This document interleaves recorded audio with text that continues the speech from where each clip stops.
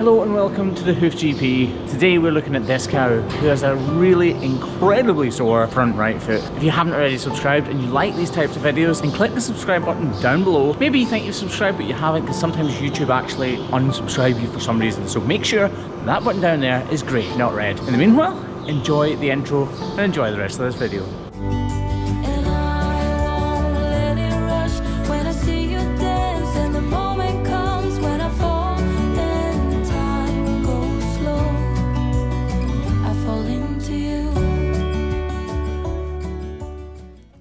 So when this cow was brought round from the pen to the crush, she could barely touch the ground with her foot. So I reached for the video camera and thought this would be a good one to see what we could do to make her more comfortable.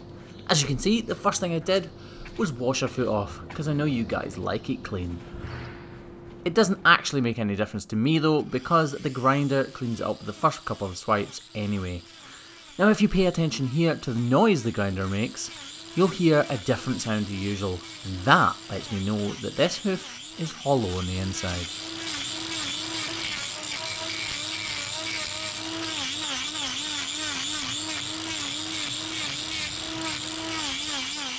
As with all trims, I aim to balance the claws first and make sure they're the correct length and the right angle for her comfort to be at its optimum. After that, I go to work finding the problem. And you may get halfway through this trim and think, ah, the problem was not that big. But guys, watch all the way until the end and you'll realise that this problem is a lot worse than it first seems. For now though, I'm going to be quiet and let you guys watch and enjoy this trim.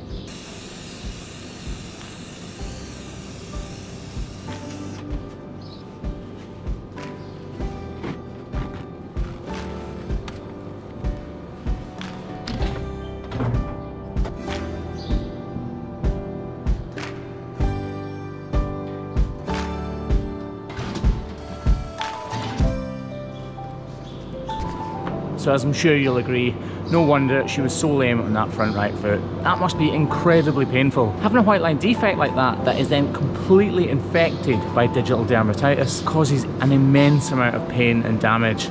The corium, the bit that actually grows the horn, is completely overrun by spirochetes, which is basically what digital dermatitis is. Kind of little wormy type bacteria corkscrews into the corium and attaches itself, and then destroys any new horn growth. So unless that digital dermatitis is cured, that problem will never go away. But hopefully, we've done it this time.